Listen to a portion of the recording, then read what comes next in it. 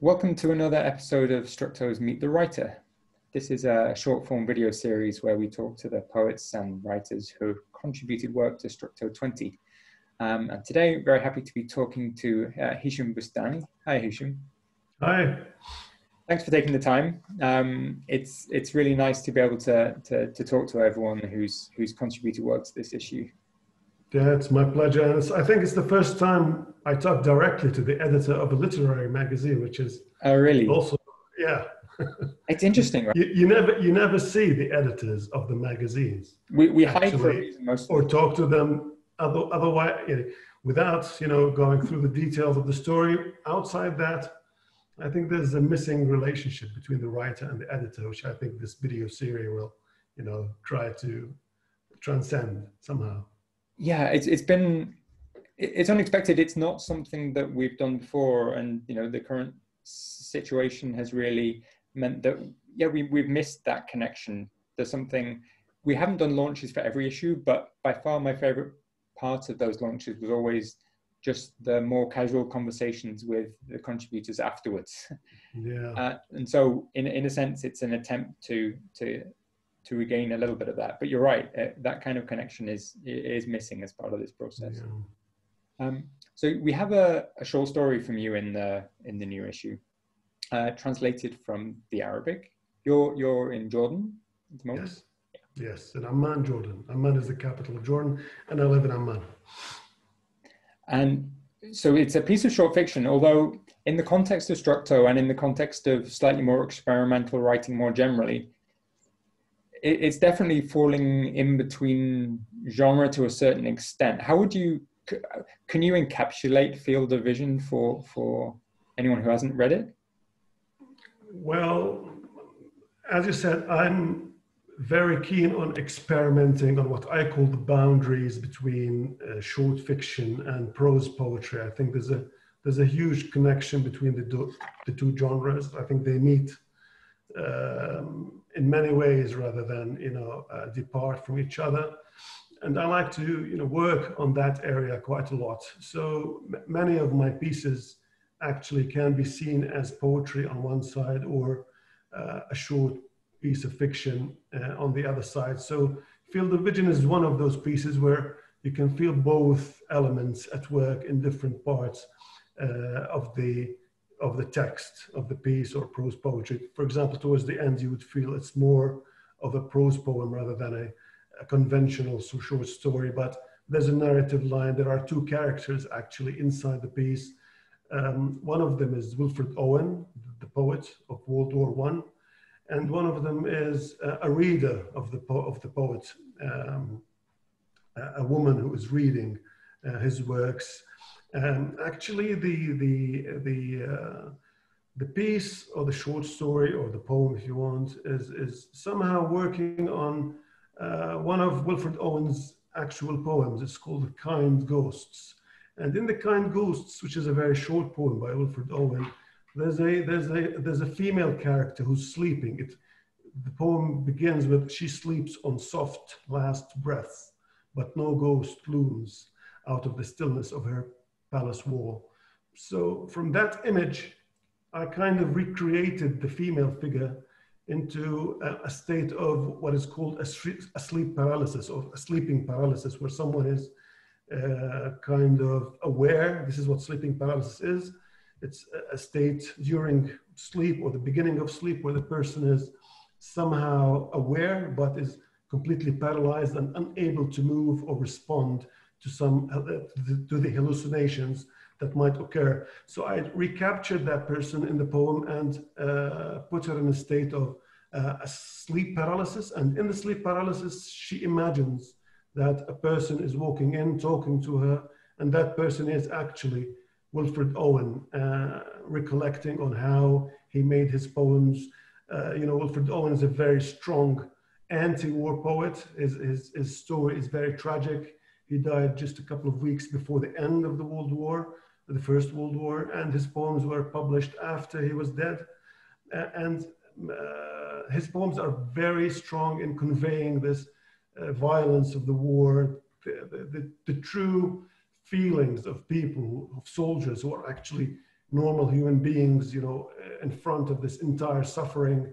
Uh, I think the, the, First World War was one of the last wars where people were engaged directly, uh, physically in the act of, rather than, you know, high tech rockets and airplanes. And so the soldiers were themselves the, the, the fuel of the war. So we can, you can feel how tragic and strong Wilfred Owen's work on that aspect and it kind of also relates to me um, since I live in a region where also war is continuously present up until uh, this very minute. Jordan is part of uh, what is globally known as the Middle East. We, we, we like to call it the Arab region because the Middle East is kind of a colonialist heritage name. So in the Arab region, you know, there's a war in Syria now, Iraq, uh, Yemen, Libya. So Wilfred Owen's poems um, talks to me, uh, and I think it talks to the situation, which is kind of now has turned up in a, in a global, you know, uh, a global catastrophe with the with the COVID nineteen, the lock-ins. So people kind of now can relate to these to these themes. So I related to uh, Wilfred's poems and transformed and kind of put myself into dialect uh, or into dialogue. Sorry, into dialogue uh, with that poem and with, with, the, with the mass of, of his work. And this is also in, in kinds of puts you um, in a way uh, because uh, the work I engage with is this boundary-like uh, kind of uh, practice. And I'm engaging with also another poet from another era working on poems. So this creates the kind of work people I hope will read in, in Instructo number 20 and can also engage with and see how this works out, uh, this dialogue between a narrative, uh, fiction, and poetry as well, in the context of a, a, global concern about death and war, and a reflection on, on, on these moments through a dialogue between a woman in a sleeping paralysis situation and a poet, a poet who is reincarnated as a ghost uh, in that in that piece. And it's a remarkably fluid translation from the Arabic by uh, Thoraya El-Rayyes.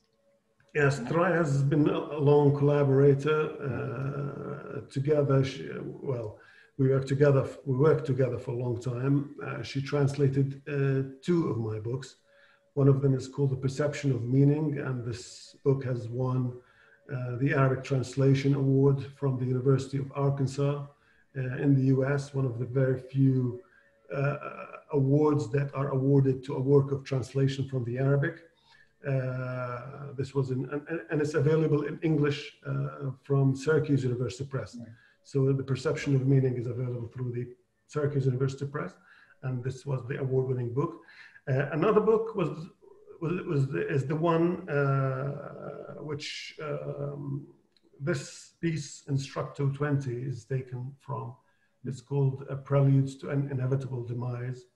Uh, it's another book of mine that is yet to be published in English. It's not uh, yet published in English. And um, I might say finding a publisher for a translated work with this experimental edge as you might expect. And no, it's it's kind of you know it's kind of hard. Yeah. it has been very successful in literary reviews, by the way, because I think literary reviews do not abide to the rules of the market or the publishing market. They actually are more concerned with the quality of the of the work. So pieces from this book have appeared in the Kenyon Review, in the Georgia Review, in Black Warrior Review, in modern poetry and translation, in the poetry review, so uh, also in Structo as well. So as you can see, it's, very, it's been very successful with literary reviews and poetry reviews, but uh, as far as publishers are concerned, I think this market trend in, in publishing,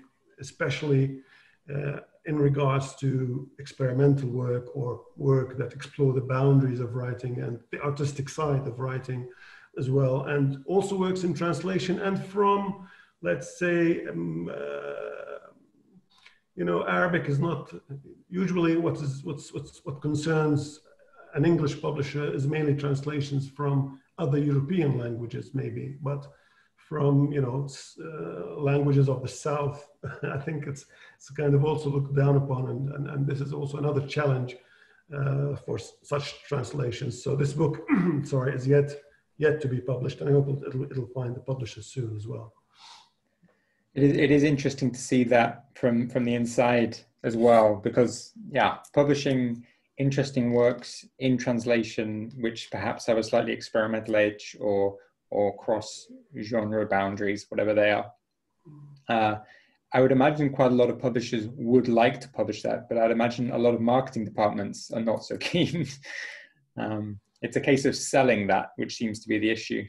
Um, yeah, and, and I think this is, you know, this drive, this is also kind of rampant in the, in the Arab publishing world, right. where, you know, uh, kind of easy, simple, straightforward narratives like a straightforward no- novel or the commercial, the standard commercial novel is what publishers are looking for. And this is depriving literature from its main pillar, which is art. You know, artistic writing is the main pillar of what transforms what you might call, you know, a regular narrative into a, a literary narrative yeah. or a literary approach. So without art and exploring the potential of art, I think you know literature loses its its uh, its meaning. So this is this is one one one big problem.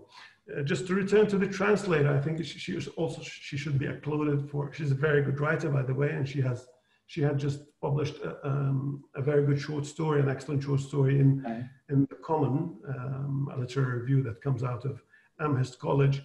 So combining the literary ability, her own literary ability as a writer, and uh, mobilizing that into another language, uh, I think was quite successful. Also, one advantage is that I know English quite well. I can translate my own work. I tried. It, it was a fun, it was a funny result uh, because I think literary translation has it has to have a you know a different kind of depth or a deeper knowledge into language and cultural settings and uh, how this word psychologically feels in another language I, I, can't i can't sense that i can just you know an english word for me is, is, is deprived of all this you know psychological and historical load uh, but since i know the english language quite well i can also read the english translation and we often go into discussions about that translation. Uh, and, and this, I think, results in, in, in, in, this quality of literary translation that is usually rare. I, I, will, I will be unable to do that in other languages, of course, but, uh, but at least in the English language, you can feel this, you know, uh, impressive quality of work uh, that Thoraya has done uh, through this uh, collaboration. And that, that exact process is something that uh, we at Structo are incredibly fascinated with the process of translation. Um, Matthew Landrum, who's our contributing editor, uh, used to be poetry editor. I mean, he's a translator of, of, of poetry, and uh, partly with with that, bringing in that whenever he started issue eight or whenever it was, become more and more infatuated with this process to the point where this issue has our interview is with a a poet um, uh, uh, and who's done a lot of work through translation. And uh, we have an essay about the act of failing miserably to, to, to, to, translate poetry effectively and how that process works with, with the author eventually to produce something which both are happy with. I interviewed yeah. um, the Icelandic uh, novelist and, and, and, and, writer Sjón a few years ago, and he said he said a similar thing to you. He is incredibly fluent in English as you are, and and said, "I'm absolutely not the right person to translate my work. I simply do not have." Yeah, it take it must take quite a yeah. Uh, uh, is it is it a, a, movement of trust to find someone who who you can work with in a in a more long term way, or is it just a case of finding the right person for the work? Absolutely. I think the, the, the, the, translate, well, I can't stress enough, it's been said a lot that, you know, translation is another creative process and the translation itself is uh, an act of creation. It's another creation. It's a recreation of the piece. It's a different piece completely. Uh, it's another creative work that stands side by side next to the original. It's not a, the mirror of an uh, original at all. Um, and I think also what um, the word trust, which you used, I think it's very important in the sense that uh, the translator must be deeply knowledgeable. I say uh, in one interview, I said he should be bicultural.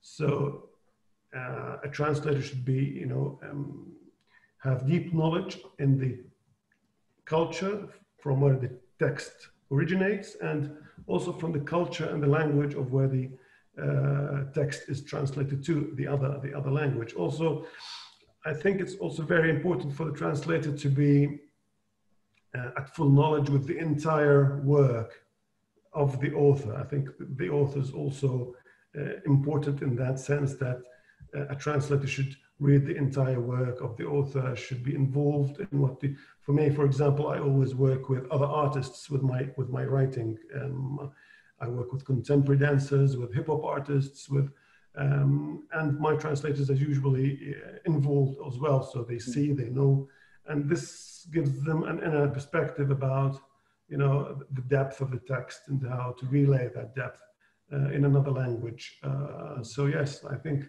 this kind of trust, which means a more a deeper knowledge uh, of the author as an artist, as you know, uh, um, how he works, where he works, with whom he works, uh, his artistic output in different in different formats, if that applies. So I think all of this is, is, is very important in addition to you know the cultural and the linguistic aspects. So if you find, well, an author is very lucky to find, you know, uh, if all these elements yeah. you know, fall, into, fall into place, which is not usually uh, the case. But in, in, in, this particular instance, yes, they fell into place. And the result, I think, is, is, is very brilliant.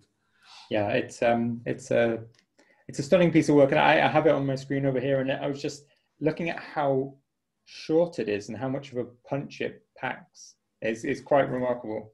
Um, so uh, drawing things to a close here, during this period, have you, have you been creating or have you just been kind of getting on day to day? Uh, well, yeah, of course. Um, um, I think the lockdown situation, um, uh, you know, it has these very drastic, uh, you know, sides, and uh, but also I think for a writer, it's it's it's like you know having a time off and trying to concentrate uh, on the work. Jordan has been under lockdown for, for two months, two complete months uh, for in, in uh, March and April. Uh, and the beginning of May as well. So I worked on a non-fiction book, which is coming up. It's, I just signed the contract yesterday with the publisher. Uh, I also worked on um, my poetry collection, which will be uh, hopefully out uh, next year. Uh, I also collaborate, as I told you, I've been in collaboration with a contemporary dancer. This is our second collaboration. Uh, so in the lockdown situation, what has been going on is that she sends me one of her rehearsal uh, choreographies and I respond to that in text. So oh. she makes another response and another uh, uh choreography and so on. So I have so far four texts and she has five choreographies so we're, we're building that into a, a, body of work and we're thinking about how to you know proceed with that we're, yeah. we, either in performances we're also thinking about uh, a publication that involves dance somehow as well in, other, in addition to performances uh, and so on so uh, another aspect I've been working on with another publisher um, is uh, transforming uh, one of my books into a graphic novel uh, without adapting the text itself. So the text stays as it is, hmm. but then it's it's the artist who has the burden to recreate again wow. a, graphic translation, if you want, uh, of the text. So that has been moving on quite you know successfully. I'm, I'm very happy with what the artist is you know is is definitely expanding his imagination, especially when you see you know uh, a visual. Uh, a visual result of, of uh, a visual interpretation rather than another linguistic interpretation, but this time it's a visual interpretation of the text as a graphic novel. I think is is doing an excellent and a very creative job. So these are the three parallel projects that I've, I've or four parallel projects that I've on. Yeah. So, so one or two things on the go. That's really great. It's it's it's really nice to see that there are, yeah, that there's a, an enormous amount of creativity happening in, in various degrees. Some people are just conserving energy uh, for for a period where they can be creative again. Other people are just diving diving deep into many many different projects. So it's been a yeah one of the lovely things about talking to the writers and poets who have contributed to this issue is is just to get a sense of everyone's reaction to this weird period and yeah just seeing how quite intensely yeah but somehow well well I responded to the period with a piece that has been published in, in Arab Lit. It's, it's, it's a it's a webzine for you know Arabic literature in translation. And uh, what I was well, one of the angles in that piece is, is, is two things: that there are other people in continuous uh, isolation and you know lockdown, like prisoners, like refugees. Um, uh, this is one aspect of the situation, and I think somehow people in zones of conflict, like you know people in my area, has also are also living this experiment for a long time. So this was one of the main conversations I had with many people here that somehow this is the situation, the normal situation. Of course, manifest, you know, uh, expanded somehow, but it's, it's, the same situation in, in, in a larger context. So somehow this did not stop, uh, you know, the productivity somehow in, in a literary sense. And also I have this uh, idea that literature also thrives in, in, in times of crisis. I think it's yeah. the artistic response to hard situations uh, is always there and, and, and, and should always be there as well. It's, it's like a driver to the creative energy of, of an artist. And I think this is what, what happens.